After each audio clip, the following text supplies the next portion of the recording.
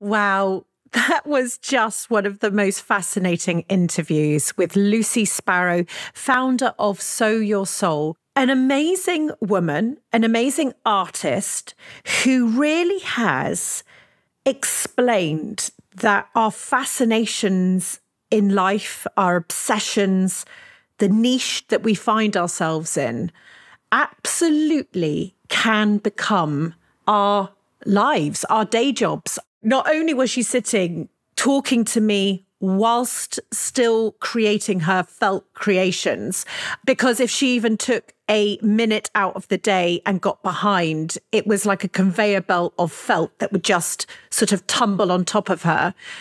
She also had this way of just bringing light and love and fun to her subject. And I think it's one for all of us to listen to, to understand that if we can dream it, we really can create it. Bow your head and let your eyelids close on down. Where we're going, you won't need to bring your frown. I'm Holly Tucker, and welcome to Conversations of Inspiration. Back in 2006, I founded Not on the High Street from my kitchen table, and since then, I've gone on to launch Holly & Co. I'm the UK ambassador of creative small businesses, and I believe that having a business doing what you love is the key to a happy, fulfilled life. My dream is to help everybody start theirs. I'm here to offer advice, inspiration, wisdom, and encouragement. And in my view, the best way to do this is by sharing stories. So I've reached out to my favourite small businesses, entrepreneurs, and those who simply inspire me and asked them to share theirs. With thanks to Dell Technologies, who've helped bring this free podcast to life. Here are my conversations of inspiration. Hi, Lucy. What a pleasure it is to have some time with you today. As you know, I'm a big fan, and I'm going to mention that throughout this entire podcast. but welcome to Conversations of Inspiration. Tell me where you are, because I can see that you're in front of some filing cabinets. Well, thank you, Holly. It's lovely to be here. And um, yeah, I'm really happy to be joining you. Uh, today, you are seeing me in my archive room, actually one of three archive rooms because I've made a lot of stuff, and it's where I put all the patterns and samples for everything that I make. So when I make one, I make I actually make two. I make a flat sample and a made sample. So they're like a, a roadmap with everything that I make, just like you would patterns with clothes. So we've got poisons and sexual health behind you, which is just, you know, your average setup. Tell me about where this all began, because I'd love to start with your upbringing. You grew up in Bath in an artistic household. Your mum and your gran were sewers, making curtains and cushions, and your father did a lot of writing.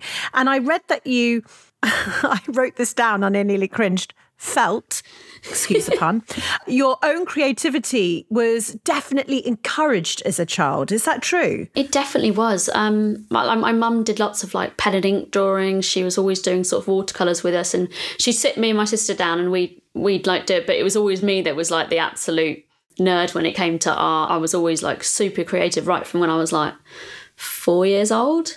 So I sort of seized up on it. My sister, creative, creative in her own way, but not necessarily like sort of like withdrawing. And I just, it's all I wanted to do. I was absolutely obsessed with it. Any time, any given time, I didn't want to be doing anything else, just drawing, making. It's quite incredible, isn't it, when you think of the influence we have as children? It just astounds me still when I think back to all the stories I've heard, the influence of our childhoods. You've said before that you were a nerdy, weird, and kooky child with a vivid imagination. What was that like? I mean, I think it was challenging at times because I had I had so much energy as a kid and, and like my mum and dad have told me that I was in a nice way quite difficult because I was constantly asking questions and it there was sort of like no downtime. Yeah. And I think that can be quite exhausting. If you've got a kid that's happy to be sat in front of the TV and they, they could occupy themselves, but I was like just talking, asking questions. And it was like, I guess sort of like deep and meaningful questions that like you hope that your kid won't ask you, like, where does space come from? Who's God? I think in some ways I was a bit of a handful, which is great now because it means that you know you've got a great work ethic and you're never bored you're happy with your own company and you're very curious but i think yeah as as a kid i think that can be a little bit tiring because you're just like oh god please shush I actually can picture you as a, a child asking those questions. But you actually went to university and it wasn't the experience that you had imagined. Uh, you dropped out. And am I right in saying that as much as you loved making and creating, you never viewed it as art or thought that this could be something serious that you could pursue. And I'm, I'm, interested because quite a few people on this podcast have said the same that, you know, what they were fascinated in that now I call people's diamonds, they didn't realize at that time, and they wish they had, that actually that was always the universe's path for them. I think so. I think like I just always thought it was like, oh, Lucy's making art, Lucy's drawing, or anything like that. I grew up still in a sort of generation and i guess it was like when i was a teenager like the ybas and stuff were coming out and there was things where oh anything can be art you know it's art it can be cool and fun and stuff. I still believed that you could actually only be an artist by going to university by studying by making things that, that were sort of like realistic. I really thought that there was this separation between art and craft and and now i'm sort of like no there isn't at all. It's whatever you you sort of want it to be. And i, I think nobody at school said you can actually be an artist because realistically, there's such a small percent of people that can be. I mean, you can be an artist, whether or not you can actually buy a house and, and pay your rent and all that kind of stuff with it is another thing. But if you stick at it eventually, eventually it will work. Is that what you think? I think there's a tipping point that happens. I mean, before when I did Corner Shop, which was my sort of my first like breakthrough show, which meant that I could make art full time, because before I was still in like a full time job that wasn't art. I'd been doing it for about 10 years before then, and you didn't even think how, 10 years is a long time. Yes. So I was 28 when Corner Shop happened, and I was trying to sell my art when I was 18. Right. So I think if you've got the stubbornness to last that 10 years without earning any money and working really rubbish jobs. I think that something gives. I think there's there's a tipping point of, of like awareness where people are like, oh, actually, maybe this person hasn't given up. Maybe, maybe we should listen to what she's saying. You just take the knocks on your chin because you have to have this absolute blind optimism that it's going to work out. Because the realization that if it doesn't, and you've wasted all this time doing something, you're like, ah, I'd rather not think about that. I'm too far down the tunnel now. I've got to carry on through. But between us and those listening on the podcast, have there been moments that you've just gone, this is not going to work? To be honest with you, I don't think there was. I think once I'd done Corner Shop and it and it hasn't stopped since then, and bearing in mind that's seven or eight years ago now, it hasn't stopped since then. And I, I think I just need a small amount of momentum to sort of like keep it going. In the art world, there's so much like competition. And i think you're always sort of seeing your peers around you if they're doing well you're just like what have, what am i not doing right that's like making this happen? And but you just have to put your blinkers on and just be like no i'm on my own journey. This has nothing to do with them. It's fine. I'm not doing anything wrong. I'm talking about comparing yourself and looking do you think that the mindset of being an artist as a job, you know, let's go into a school, do you think that people are saying now you can be? Because I think a lot of young people now have a much more exposure, don't they, through social media, viewing art itself. Do you think now that maybe the mindset is shifting? I think so. I mean, I it's hard to say because I don't know what sort of art is being taught in schools these these days, but like it was certainly was never I mean, even when I did like a year of uni, it wasn't like, how do you market yourself? No part of going to uni and studying fine art is spent on the business side of things. I weirdly think that I'm actually just I've got a bit of a knack for business anyway and just kind of entrepreneurial and that's that's just sheer coincidence. But none of that is taught at school or at uni on how how you do these things. You just have to learn it along the way. I remember when I did my first show, I was ringing up the newspapers and getting them to come down. And I, I used to have to lie. I used to be like, oh, uh, I've just spoken to your picture desk and uh, apparently they're, they're stuck in traffic and um, I don't know what's happening. So can you just send another photographer down to get the pictures? And they'd be like, oh, I haven't got you on file. Let me make a note of that. And I'm like, I love that. that. That is genius. That is absolutely brilliant. I mean, that's called faking it until you make it, isn't it? That is just the gift of the gab, being cheeky. Uh, what do they say? Ask for forgiveness, not permission.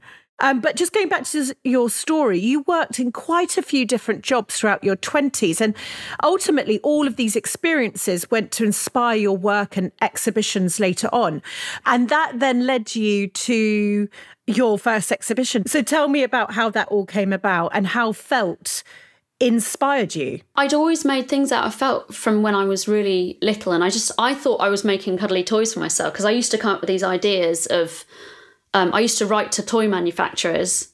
That's how much of a weird kid I was. I used to write to toy manufacturers, and I was like, "Have you thought about bringing out a range of products that is the planets?" And I'd I'd send them these drawings and like these plans of how they could market this, and I was like, bearing in mind I was like nine or ten, they probably didn't need Oh any help. goodness. Certainly not from me. And then, like, yeah, I'd get a letter back and they're like, "Ah, dear Miss Sparrow, thank you much for this amazing, very great idea. We'll certainly keep it in mind for our future releases." And you're like, "Oh, they really mean it." They definitely didn't. so in the end, obviously, when they didn't hire me immediately as a as a product innovator at the age of Yeah. nine. Uh, my mum just bought me a load of felt, and I was like, right, this can't be too hard. I'll just make my own. Obviously, having no concept of really how to make toys or anything. Like, I look back at the stuff I made, and obviously it's rubbish, but it just opened up my eyes of like, I, I just amazed me that basically whatever idea I had, I could make. That moment of thought that if I think it, I can create it. it was just this realization it's like okay right surely like and i was just bursting with ideas like this this is amazing and I, I just started this thing where i just make anything out of felt i used to make like fried breakfasts and I, then i used to take them to bed with me. I had like fried eggs sausages tomatoes and i never thought of it as art i always thought of it as i make my own toys kind of thing. But i was always fascinated by things in different materials that they shouldn't be you know In 2014, you created a Kickstarter campaign to fund your first major exhibition, and it was called The Corner Shop. So there you were at whatever illegal age you were working in a corner shop. By the way, I did too. You took over a derelict shop in East London and created literally a corner shop with all the sorts of things that you could find in a corner shop from milk, canned goods, confectionery. I remember going in there, it was sweets, it was the Sun newspaper, it was the shopping, but it was just incredible. It was 4,000 items, which I didn't realize. Tell me about that mammoth undertaking. What was that moment that you thought, right, that's it? I've been doing this for 10 years.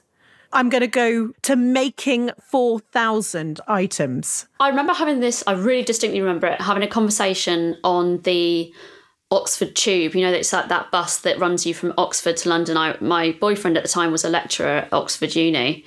He's American, um, and he sort of got the confidence and the things that I didn't have at that age. And he was like, if you want to do, I can't do the accent, if you want to do something really good, really impressive, you've got an idea that people cannot ignore. And I just, I sat there thinking and I was like, you're absolutely right. I haven't gone mm. big enough. I need to go bigger. and that's when I was like, well, you know, what do people like? People like nostalgia. People like corner shop. What do I like? I love things in neat rows in supermarkets. I'm going to make a felt corner shop. And I'd already been interested in kind of like derelict buildings, you know, converting spaces into things that they shouldn't be. And I just ended up walking around East London looking for derelict properties and going on land registry and looking up who owns them and just writing to them. Did you say to the person, I'd like to I'd like to start a corner shop, but everything's going to be made in felt? Yes, three people ignored me. and one person eventually said yes to a meeting. And then I, I knew that I wouldn't be very convincing in letter, but I would be convincing in, in person. And I said, What can I give you that will convince you to give me this building for five weeks? Um, and then they were just like, £2,000. And I was like, I don't have £2,000.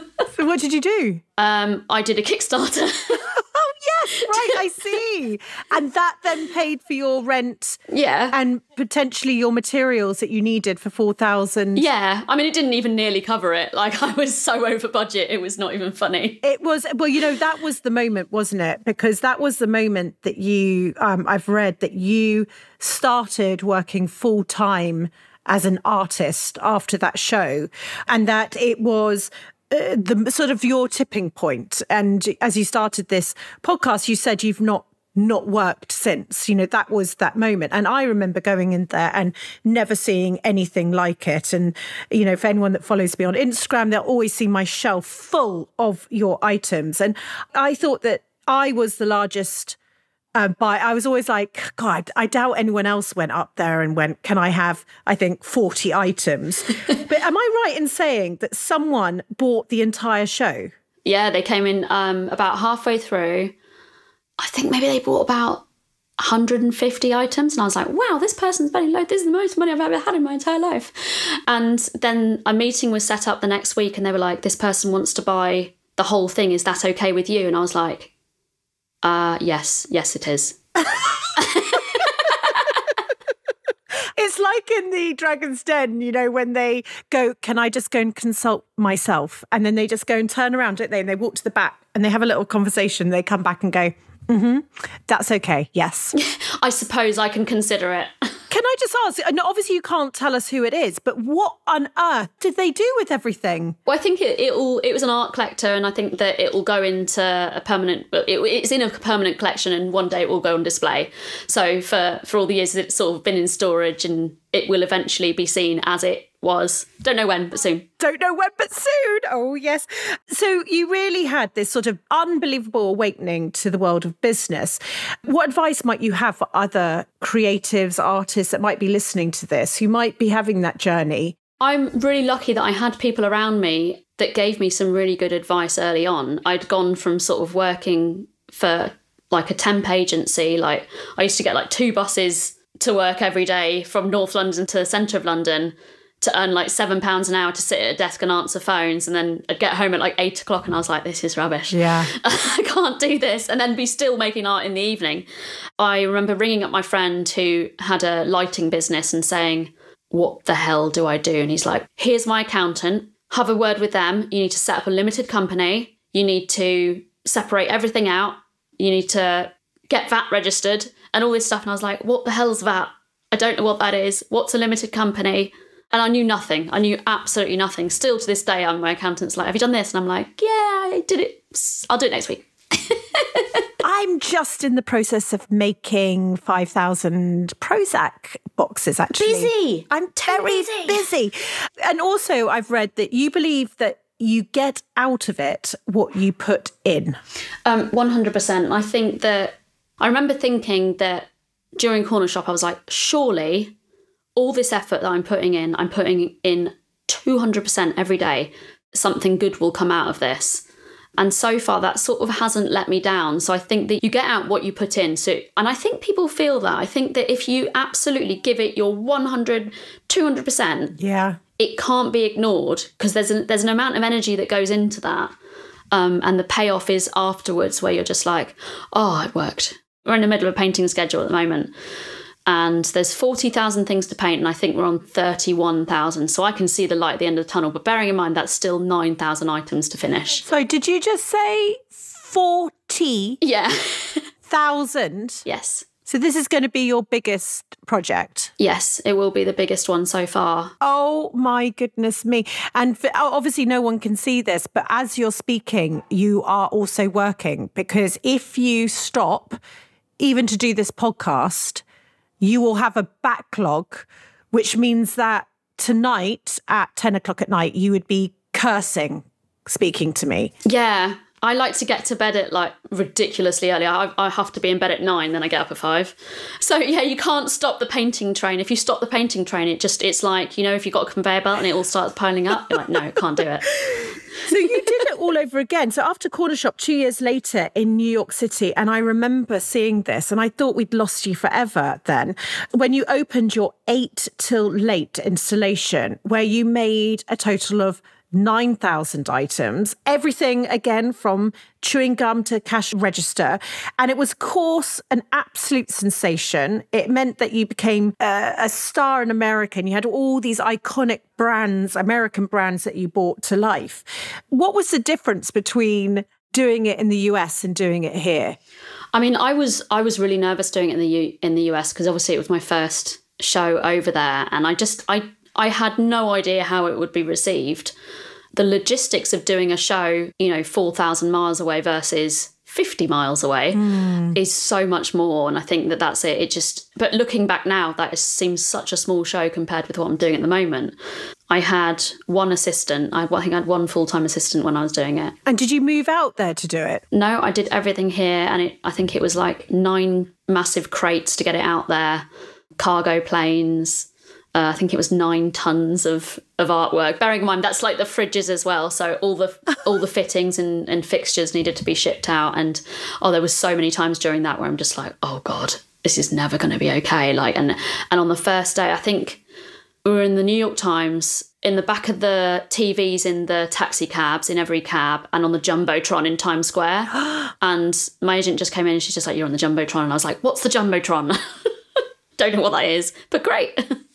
and it was mad and it was amazing and it, it was again one of those things where you, if you put the energy in you get it out and but you never know. You always have this doubt before any show opens whether the press is going to line up whether you're going to have the people in whether it's going to you know pay back enough to cover your costs and yeah. there's always this paranoia and that i don't think that will ever end. And was there a difference between people who were what, looking and buying in the us to the uk yeah they're a lot louder i couldn't believe it like come in and they're like proper screaming, screaming, laughing, crying.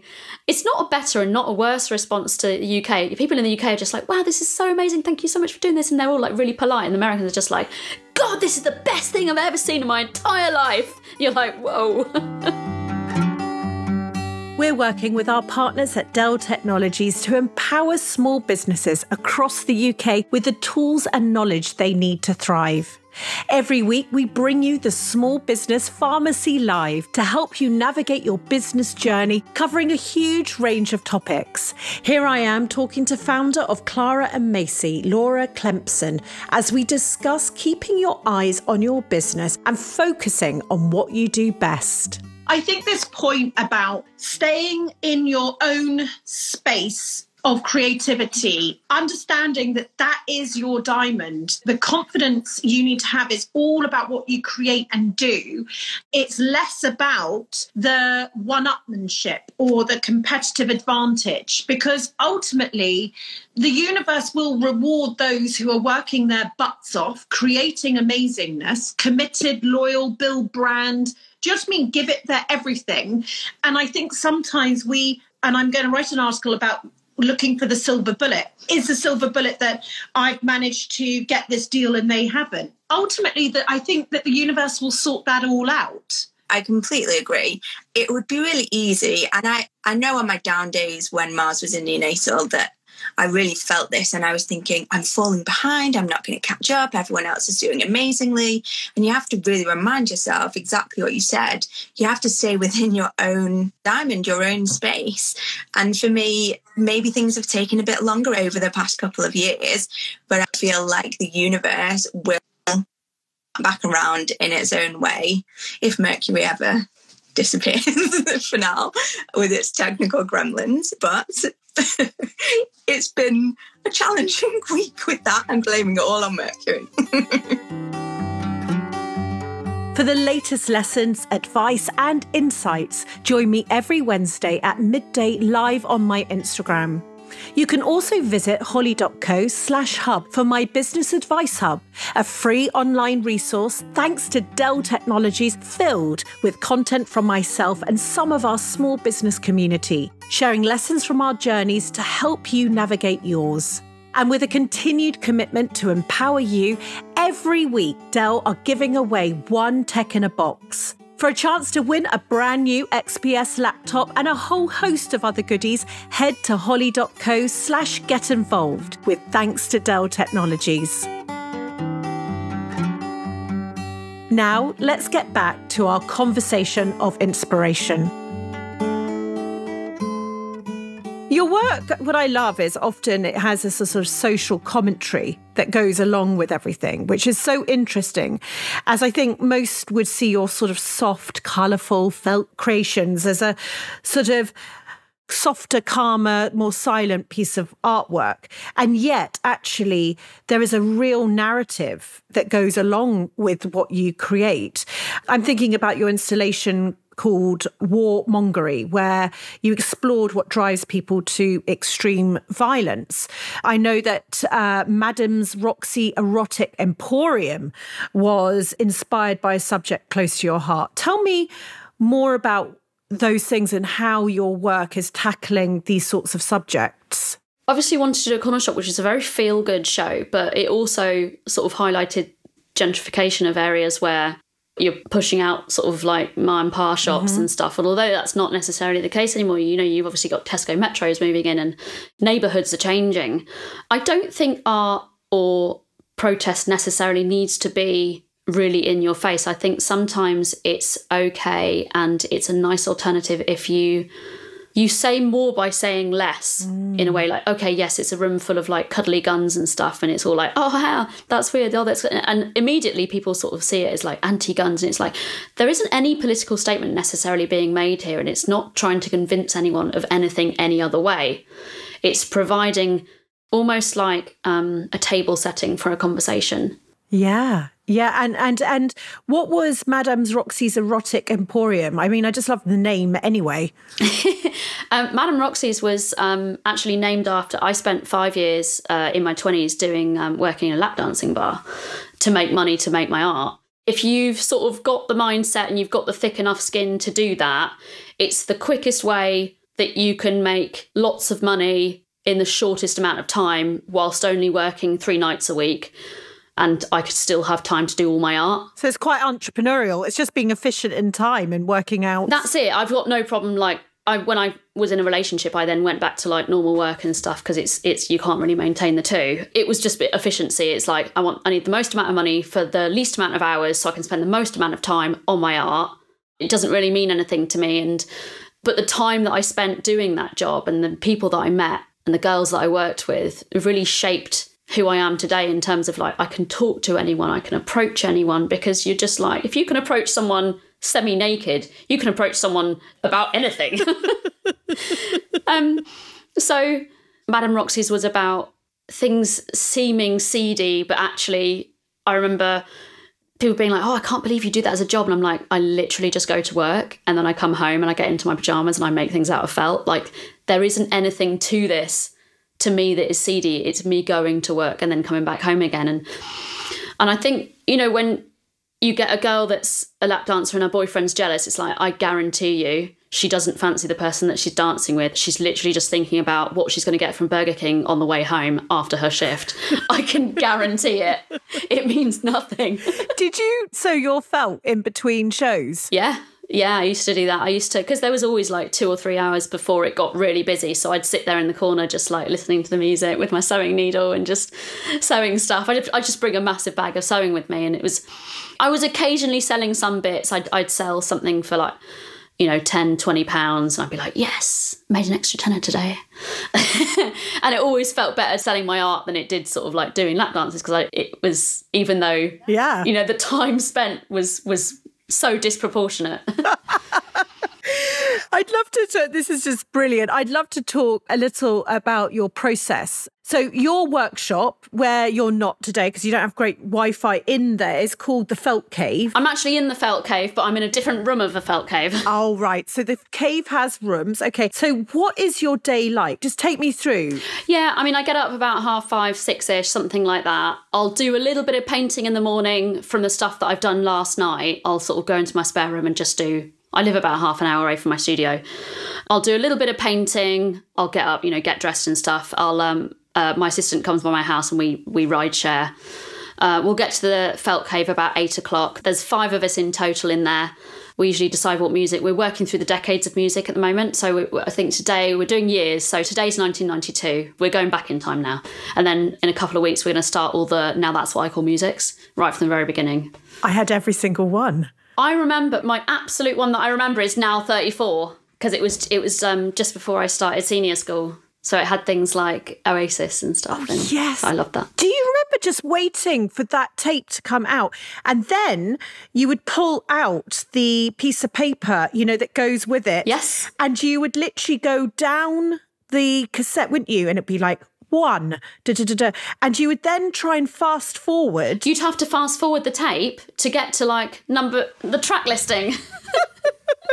and at the same time, I would be getting smash hits. Yeah. Where they would have the lyrics and the stickers. And the stickers. Yeah. Those would be a good ones, you know, when you got the stickers. And they would have the lyrics in there. And I was used to cut the lyrics out and stick them on my wall. Yeah. So that, you know, as I was getting ready for school, I could just sing and obviously was going to become a pop star. That did not happen, thank goodness. But um, tell me, when you work with your five amazing women, you must be working seriously hard. We work eight till five, then obviously we have an hour off for lunch and like half an hour off for breakfast. And we like have the same thing for lunch every day together. We just have like soup and bread and cereal and stuff. So we all like eat together. It's it's like some weird felt commune. I mean, at the moment, there's two of us painting, two of us cutting out, and then like one of us sewing. I get a lot of help from people who work from home as well, who like sew things. That's how I get so many of them. So I'm either painting or designing. We'll do that all day, and then get to five o'clock. I'll drive home, and then I'll do my evening painting.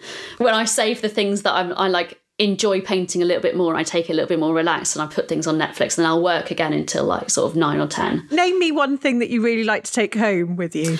Um, usually things with one colour that are a little bit easier that I can, because I've got this massive spreadsheet and uh, my boyfriend set up this spreadsheet basically, which it knocks the numbers off as you type them in and you can see this total being knocked down and it, it schedules what date that I'm going to complete. If I if I complete all my paintings, I'm going to be done by the 25th of August. We've got to keep going with this podcast because I'm so aware that sometimes you're not looking down. I hear you have a banana room. I do. Can you just share what on earth that is? Um, I mean, I'll, I'll get it on video because Basil's sat here now. Oh, look, there he is. I'm, I'm looking yeah. at a banana, everybody. He's actually had a he had a wash a couple of days ago, so he's looking really clean. Fantastic. He looks so clean. He looks so lovely. So, what is this banana room? Um, so when I was seven years old, I got a cuddly banana, and that's sort of like where it all began. I was like, right, if someone makes a cuddly banana, surely the, you know where are the cuddly everything else? And ever since then, I have like these eBay alerts on where else I can find them. So I'm just constantly looking for more. And then about two years ago, I was like, right, enough is enough. They're getting thin on the ground.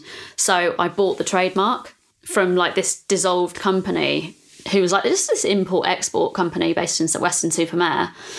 And I sent them away to be manufactured. And so now I've got like 1,500 of them because I was like, I never want to run out.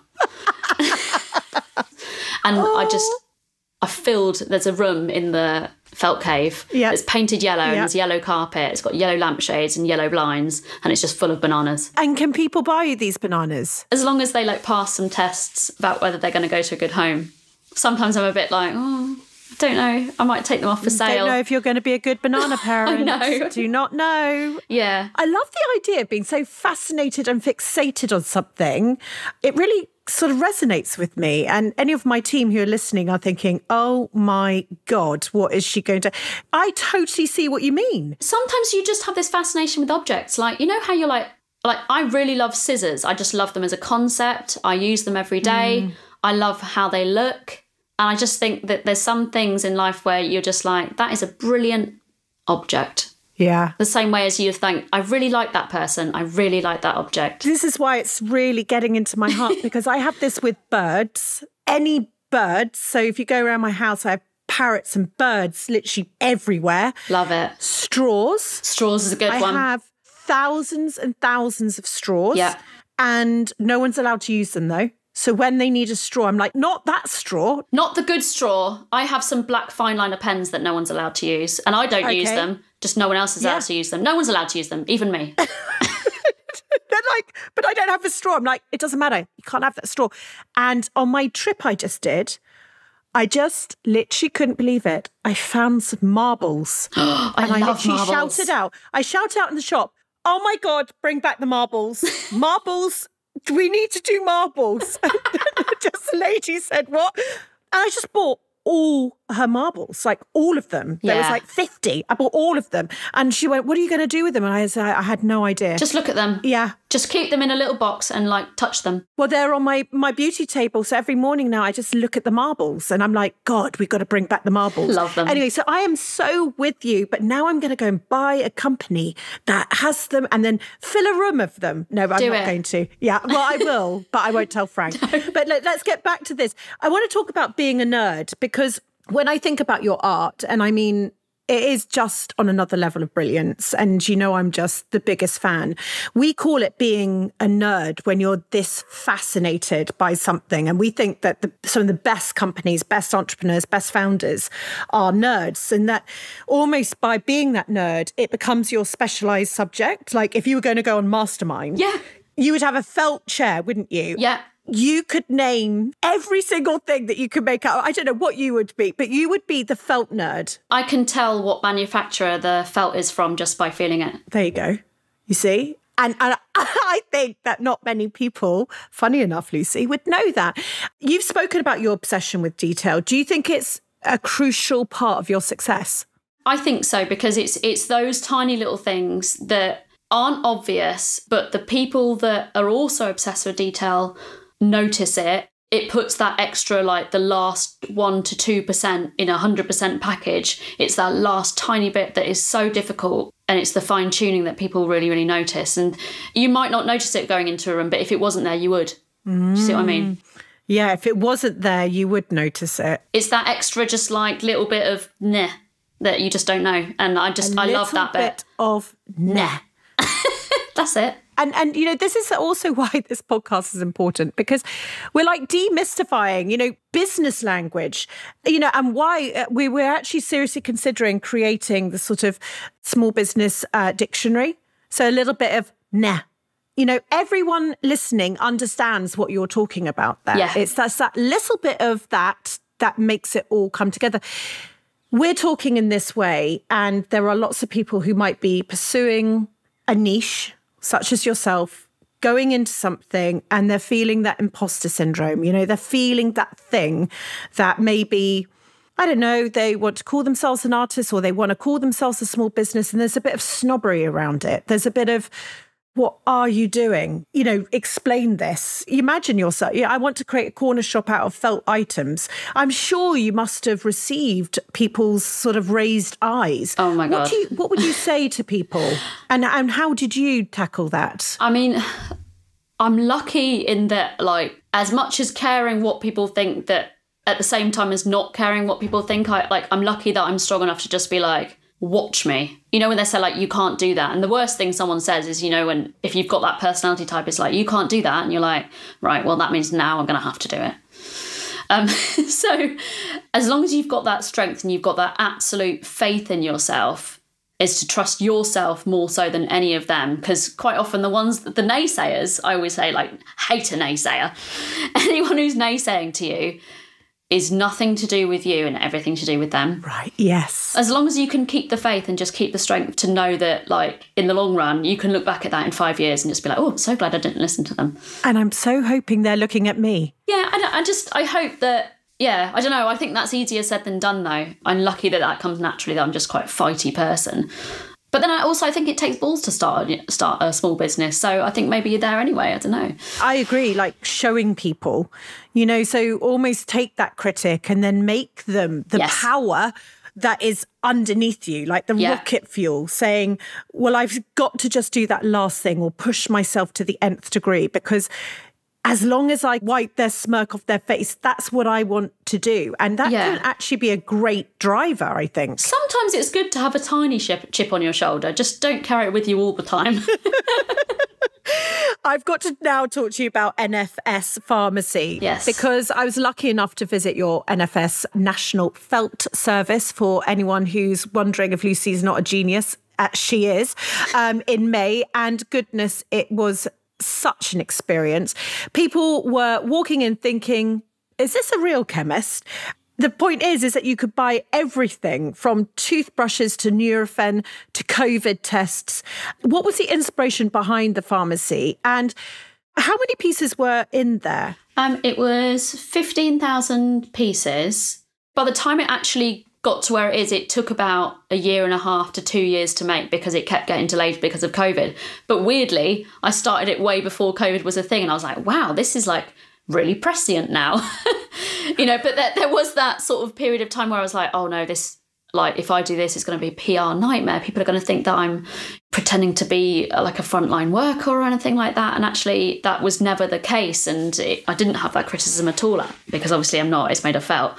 What it did was it created an environment where we'd all been really familiar and like these chemists were our lifelines throughout this whole pandemic. And you know, when you make something out of a different material and you present it a different way, suddenly people become a lot more aware of it than they were before. The timing was incredible. And what I just also loved is that I looked up and I saw the TV screen and you'd created adverts. Yeah. And then you could get your felt leaflets, you know, so like in a chemist, you'd have your little leaflets, and then there would be jars of things. It was actually phenomenal. I went and bought, there was a Rimmel stand, and I bought my eyeshadow to my mascara to my Clinique uh, moisturizer. I bought many Pro Plus boxes because I just thought that was just fantastic. Tell me the reaction that people had because I, when I was there, and I think every day you had a queue of people trying to get in. One thing I never realized when I when I first made shows like this, these immersive shows, was that the reaction of people and the people coming in was almost more of a part of the art than the art itself. It was if it was an empty shop where you know people could just look through the windows, it wouldn't be the artwork that it is. Um, and it's that interaction of me behind the counter every day and seeing people's faces when they come in, because you almost have to come back several times to take it all in. And it's this wonderment that someone has gone to the length and gone to the obsession to make something so detailed. I think it's very heartwarming, and that's it's just never something that I expected to be part of the artwork, but I'm really glad that it is. And now I play to that, I, I actually make it even more nostalgic and to get more of an emotional response from people because I think that's to get a response like that from people going to an art show is very hard. I'm intrigued to know what was the best selling product. Uh, the best selling product was, I think it was either Xanax, Prozac, or Chanel Number no. Five perfume. Well, I bought five Prozac.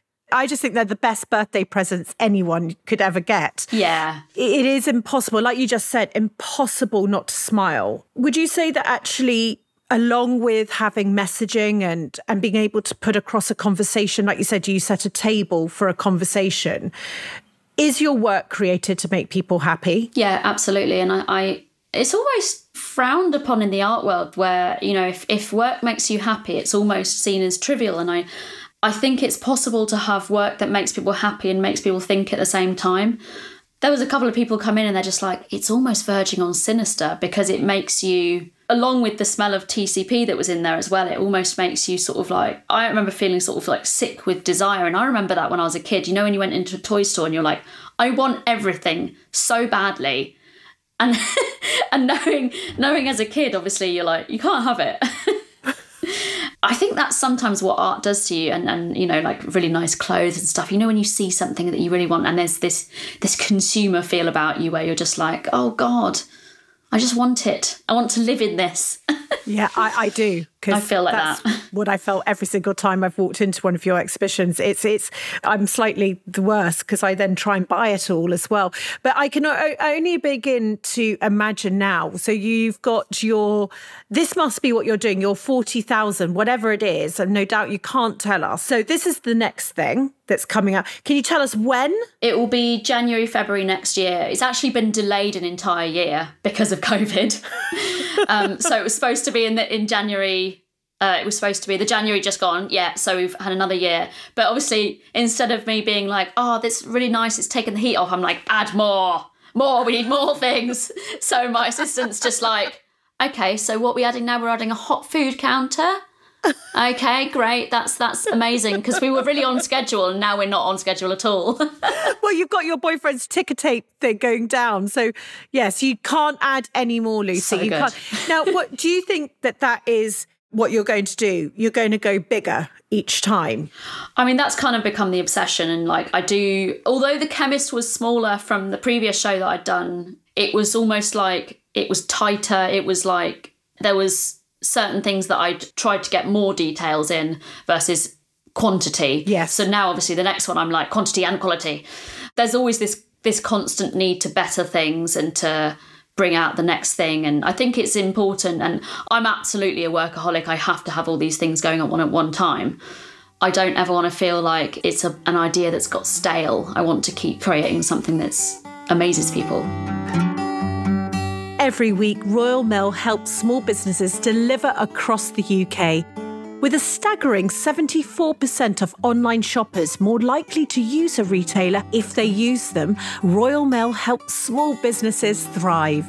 As a central and crucial pillar within the small business community, Royal Mail continue to be dedicated to supporting our UK small business community. And therefore, I'm thrilled that they're giving away their ad break space to a small business founder every week, providing them an opportunity to showcase their business to tens of thousands of listeners right here on this very podcast. If you'd like to take Royal Mail up on their generosity, head over to holly.co for more information.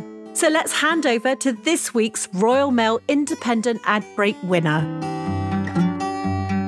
Imagine painting landscapes with paints directly from nature. A sky in lapis lazuli, leaves in malachite and jasper, mountains in earthy ochres. With bristle and brush, you can do just that. Our watercolor paints are handcrafted in London and made from nature, then poured into plastic free pans. Our goal is to provide highly pigmented watercolors in the most environmental friendly way to help you bring your imaginative thoughts into vivid paintings. These are watercolors created by artists for artists. We make them fresh monthly, and we would love for you to try them by visiting bristleandbrush.co.uk. To find out more about how Royal Mail can help you, head to royalmail.com slash business hub to visit their dedicated hub for small businesses. Now, let's get back to our conversation of inspiration. Touching on commerciality, your um, exhibitions, you, you were saying before we started recording. So, for instance, your pharmacy was online as well but then you'll finish it. So you'll almost like say, right, that's the pharmacy closed. And then your next exhibition, you will do the same thing. So it's almost like when you do your physical exhibition, you drop your online store. Is that right? Yes, exactly. Because I have a lot of collectors in America, and obviously they can't come over. Even if it wasn't COVID, I can't expect them to come over, and they'll still want to have a piece from the show. I think it's really important because it democratizes sort of like what the art being sold and you can buy it online and, and the prices really haven't in, increased that much from when I first started and that's always been something that's really important to me. It's almost like a, a flash sale. You have the exhibition then it comes down. The main reason for doing that is is to sort of create an event yes. but also there's got to be a cut off where I can't be dealing with orders during the day preparing for the next show because it is so all consuming so it, it will end on Friday. The, the website will close because uh, I need to get on with stuff. I'm on the next one. this has just been awesome, honestly. Just really incredible. You are incredible. And I can only imagine what you're going to do in the future is just going to be outstanding. And I'm just so glad I was, while you were talking just then, I was thinking, one day she's going to be so uber famous, and I'm going to be able to say that I interviewed her. And that's what I thought just a moment ago. We end these interviews, Lucy, with the analogy that running your own small business is like being on an epic roller coaster. Now, what would your roller coaster cart look like? Uh, it was. Um grinding slowly uphill. but it would probably be a banana, wouldn't it? I'd be surrounded by bananas. I'd be grinding up st- uphill, just like you know, what's those things where you've got really small wheels and you're trying to cycle really yes. fast and you don't go anywhere. It'd be one of them. just like a hamster wheel. A hamster wheel. Tell me, what would you say has been one of your biggest lows while on this journey? Um, I remember getting ready for the show in LA, which is Sparrow Mart, and right up until about four or five months before it opened, it wasn't actually confirmed the location.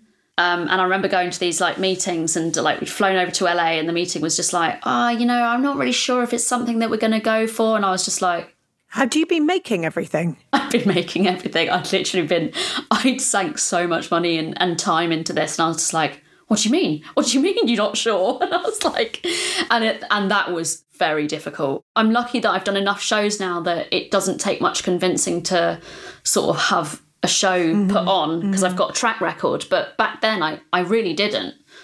And so, no matter how much you can sort of explain to people what it looks like in your head, unless you can translate that on paper yeah. to make sense.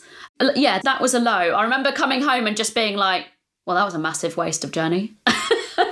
right, we'll just cancel yeah. the whole thing, shall we? now what do I do with my Hershey bar? I know. I was living in a caravan at the time as well. My, my whole like bit, my caravan was just rammed full of these plastic bags full of stuff that I had to paint, and I was like, I can't move in my own house anymore because I've got so much of this stuff and nowhere for it to go because someone in management decided that they're not sure. Thank God they came to their senses. It was fine. uh, it was fine. The wonderful F word.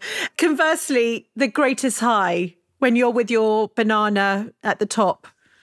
Um, I remember actually, this is I guess only a couple of months ago. Um, on the last day of the chemist, I got this phone call. The gallery got this phone call, and they're just like, "Oh, um, the White Cube want to know if, if Tracey Emin can come in, and just wondering if she could come and see the show." And I was like, "This is a woman's work, like whose work I've admired my whole life. I remember seeing the show in the Saatchi Gallery when it first came out, and I had like postcards of her all over my sketchbooks from when I was a, a kid and stuff. Because she was the only person doing sewing really in in fine art. Yeah. And she just walked in. She's just like, "What an amazing, amazing show!" And I, I was just gone. I was like, I couldn't cope. My agents were crying. I was crying.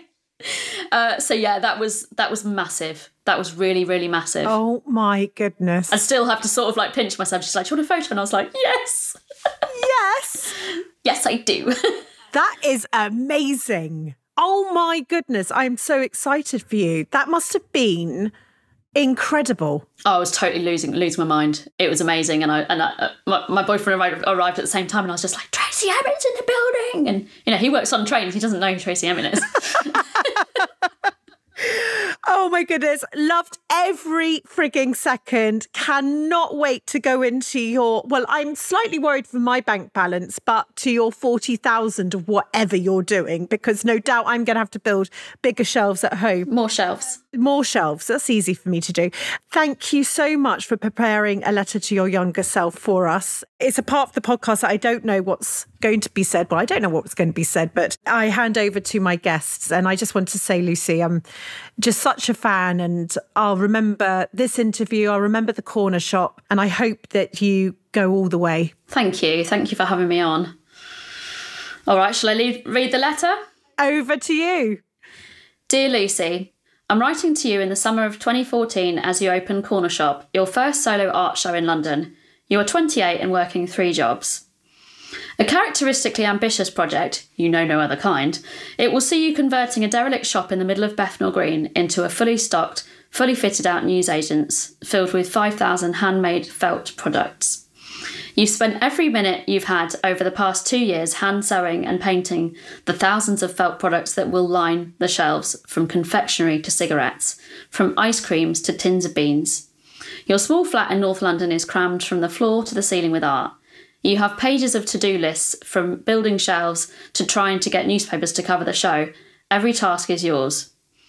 As you open the door onto the dilapidated shop that you have rented for a month, your mind is sharply focused on the mammoth task ahead of you. The floorboards are rotten, the paint flaking off the walls, and there is a persistent smell that lets you know that the previous tenants were probably four legged.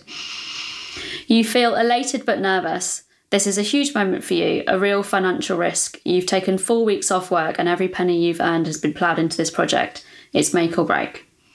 If I could talk to you now, I'd reassure you that everything is not just going to be okay, it will exceed your wildest dreams. Over the next seven years, you will take the felt from Bethnal Green to Beijing via Los Angeles and New York. You will live out every one of your hopes for your career, creating felt worlds around the globe, each one bringing with it a huge audience of wonderful, supportive people. Forget the tiny room that you're working in now, you're going to have an amazing Technicolor studio. You'll have an agent and a publicist, an eight page spread in the Sunday Times magazine, you'll be on every TV network from BBC to CBS. In fact, on one exciting evening in June 2021, the Felt will do the ultimate double and be on BBC and ITV 6 o'clock news simultaneously. Look at those cracked and peeling windows in Bethnal Green. One day you'll have every window of the Hermes flagship store on Rodeo Drive in Beverly Hills. They will be filled with your felt. And Lucy, one day you'll be standing in one of your felt shops and Tracey Emin will walk in. The artist that you had plastered all over your teenage bedroom walls will walk into your show and tell you that your work is amazing and to keep going. So keep going, Lucy. The hours are long and life will be dominated by hard work, but every stitch will be worth it. Oh, oh Yes, you're like um, the poster girl for dreaming. I, I just think that people are going to just, it's everything is possible now hearing your story. I think that, yeah, if, as long as, obviously I could never imagine that. And it's things that, like, at best, I just, I thought that I would be happy not having to necessarily sit at a reception desk or just, I, I don't know what I, I thought I'd do. I def- definitely didn't think it would be this because I, I feel like I couldn't necessarily dream this level of success, I guess. You have, and you're doing it. And it makes everybody listening realize that their messed up thoughts and their dreams actually can become reality and it can become a world. And you are you're that shining light for us. And lucy thank you so much. I wish you everything and i can't wait to see your felt take over the world. Thank you very much and thanks for having me before you go, don't forget to head to holly.co to be in with a chance of winning a brand new Dell Technologies XPS laptop and a whole host of other goodies. And if you've enjoyed this episode, if it's helped you along your journey or inspired you, would you mind rating and reviewing? Your support means the world to me. It really does spread the word and will help inspire even more people to build a life they love. And if you want to hear all our latest news, you can sign up to my weekly newsletter, Holly's Desk Notes, over at holly.co.